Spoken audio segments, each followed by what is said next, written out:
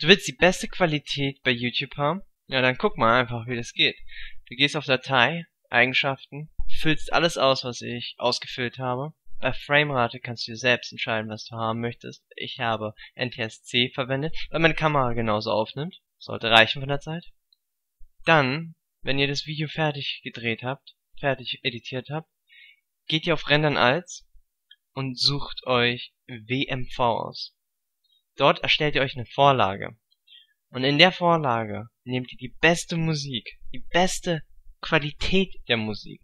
Geht bei Video und nehmt auch das Beste, was es nur gibt. Bei der Framerate nicht vergessen, wählt ihr das aus, was ihr haben wollt. Bei der Bitrate wählt ihr 6M aus. Das reicht vollkommen aus für die beste Qualität.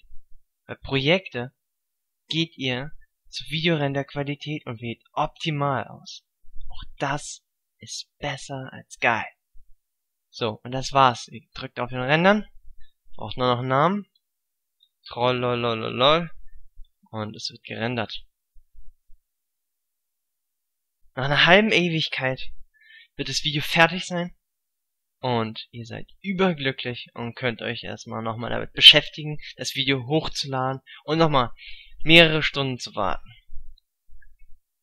Danke fürs Zuhören und subscribe.